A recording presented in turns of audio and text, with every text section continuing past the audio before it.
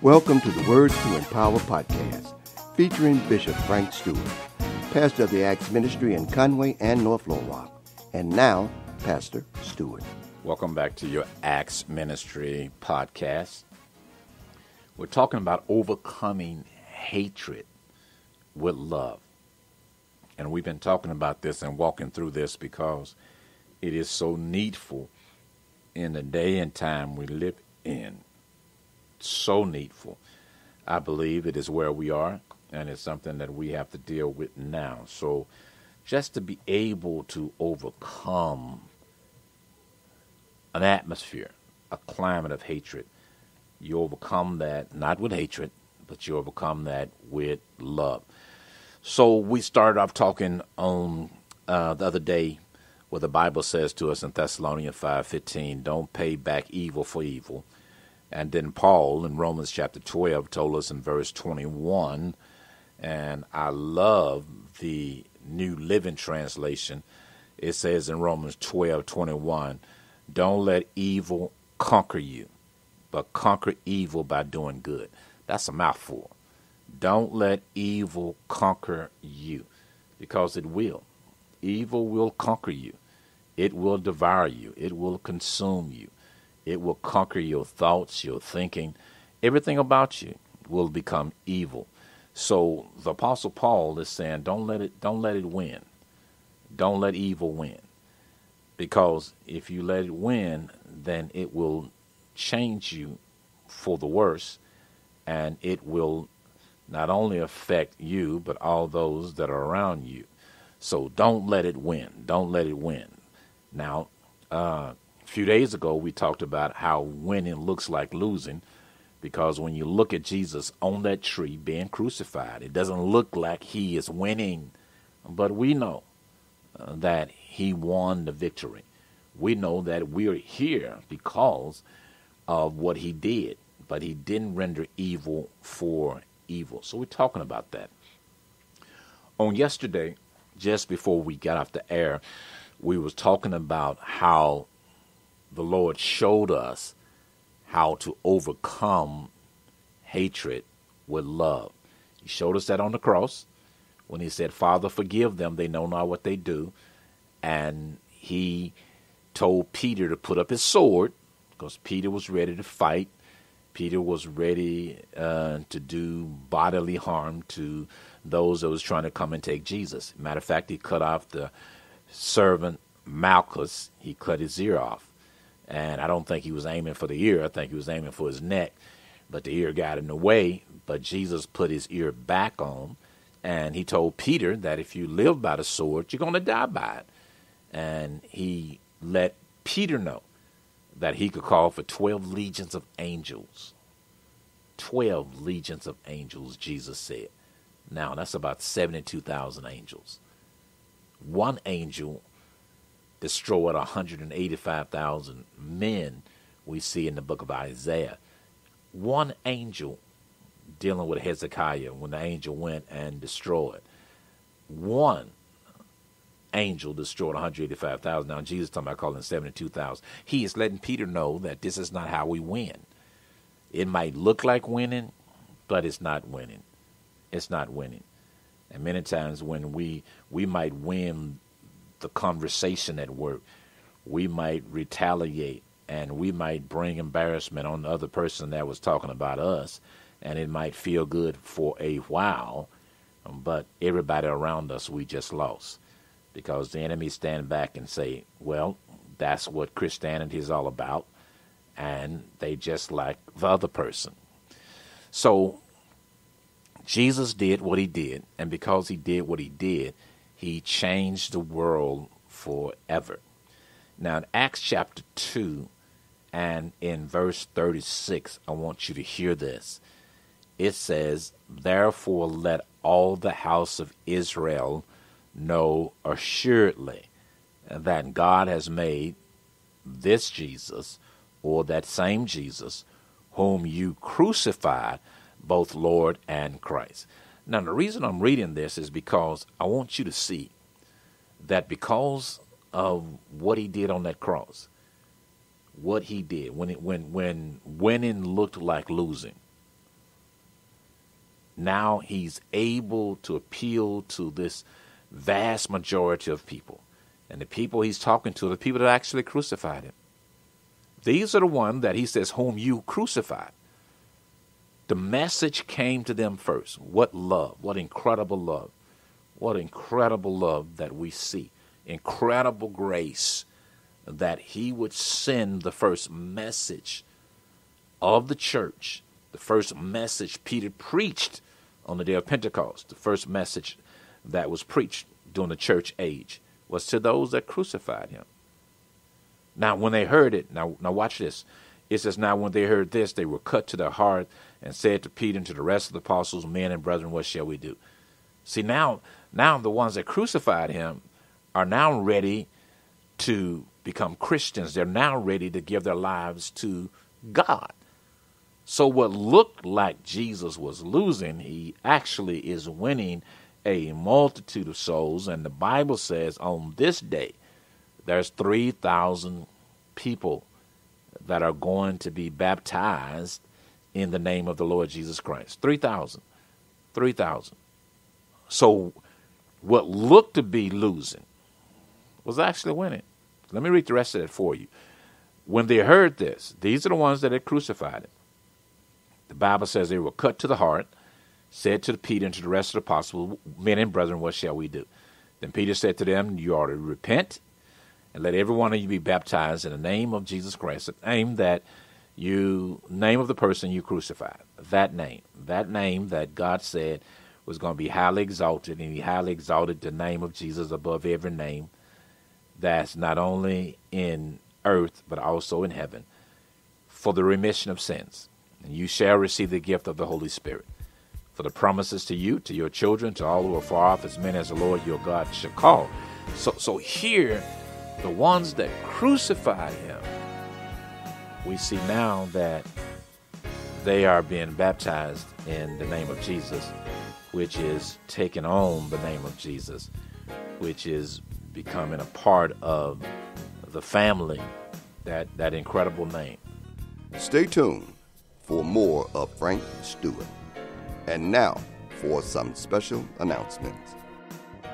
Thanks for partnering with the Acts Ministries. We value your service and your donations. That's why we've made it easy to make contributions to support our ministry.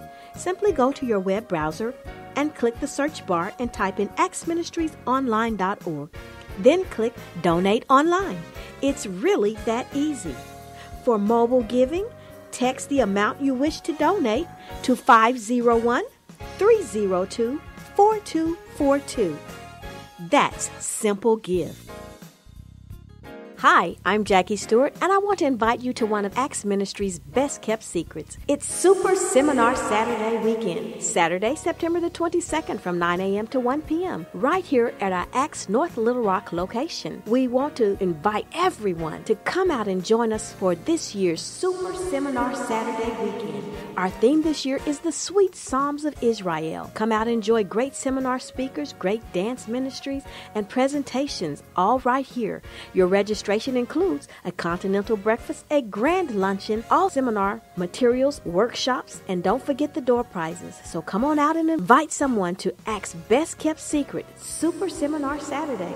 For more information, contact us at area code 501 329 2055 or 501 375 7700. You may go to our website at actsministriesonline.org or visit us at any of our services. We invite everyone to Super Seminar Saturday weekend, Saturday, September the 22nd. Come and join us right here at our North Little Rock location. And now, more of Pastor Frank Stewart. But this would never have happened if Jesus hadn't died. If Jesus would have called for those legions of angels when he was on the cross, we wouldn't see these souls turning. And, and, and you and myself, we would not have had an opportunity to change our lives if he had rendered evil for evil. And as you read on, the Bible talks about, and with many other words, did Peter testify and exhort them, saying, Save yourselves from this perverse generation. Then those who gladly received his word was baptized, and that day about 3,000 souls were added to them. 3,000 souls. Souls are priceless. One soul is more valuable than the sun, S U N, or the moon. One soul. Because that's going to pass away. That's not going to exist forever. But one soul on this day, just this one day, there's 3,000 of the ones that Peter said, whom you crucified, the Jesus you killed. Now he's going to give you an opportunity to have eternal life. So, so what looked to be an embarrassment to the Jews, the one that was supposed to come and bring about deliverance and restoration and deliver them from the Romans, now they see that Jesus had to defeat the greater enemy first, and the greater enemy was death, hell, destruction, the grave, and Satan himself. And he took the keys, the Bible says, and he led captivity captive. But he rendered good for evil. Doesn't feel good. It doesn't feel good. And it doesn't look like winning. It doesn't look like winning, but that's how we win. And and, and Paul says to us in the book of First Corinthians, he says to us that the weapons of our warfare they're not carnal. They're not carnal. What do you mean they're not carnal? They're not physical. This is not how we fight. If we fight like this, we're going to lose. And there are many people that are losing. And, brothers and sisters, when I look around today, I see many, many Christians are losing. Losing. So Paul Paul is very specific when he says to us, and and, and that's in Second Corinthians chapter number ten, he comes out and he says to us that the weapons of our warfare are not carnal, but they are mighty through God to the pulling down of strongholds. Now that's first that's Second Corinthians chapter ten, verse number four. So we walk in the flesh, we don't war after the flesh, but we fight against the imaginations and the lies that Satan has placed in the minds of people that he's using them to take them to a place God prepared for him. And that place is hell. To destroy them for all eternity. That's what he's doing. And we might not understand that, but that's what the Bible teaches us. So he says here that we cast down imagination, every high thing that exalts itself against the knowledge of God, and bring into captivity every thought to the obedience of Christ. And that's why the world is the way it is today.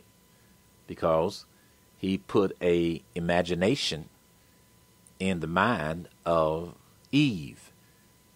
When Eve began to think that she was going to be like God. That was an imagination. That was a high thing that exalted itself against the knowledge of God.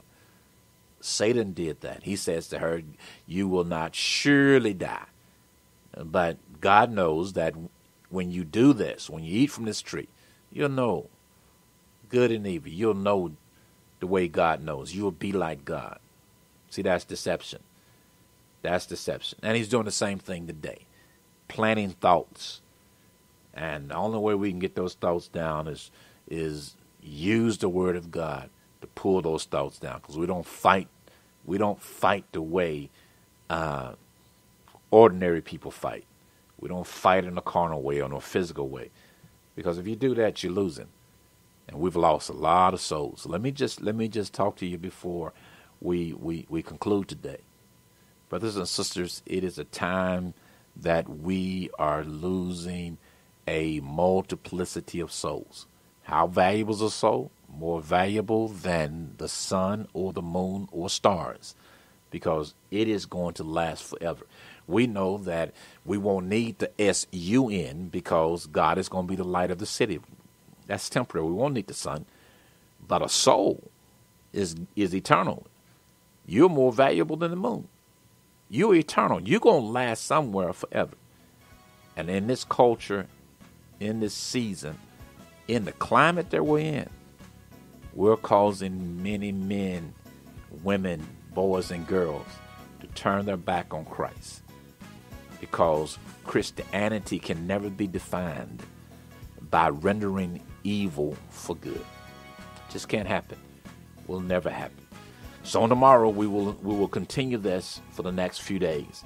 And today, go and render love for hatred. Render good for something that you see that is evil. God bless you. For mobile giving, text the amount you wish to donate to 501 302 4242. The Acts Church in North Little Rock is located at 1224 Franklin Street. Morning glory begins at 8 a.m. on Sunday mornings. Sunday school begins at 8:30 a.m. And for a powerful word, join us at 9:30 a.m. for our morning worship service.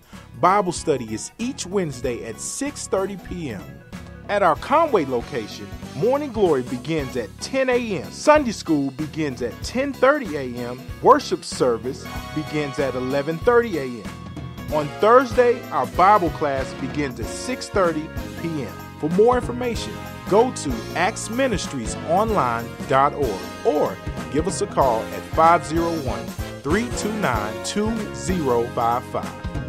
Thank you for tuning in to the Acts Ministry Podcast. The Acts Church is located at 1423 Indian Street in Conway and 1224 Franklin Street in North Little Rock, Arkansas. Tune in each day to hear an inspiring word from Pastor Frank Stewart.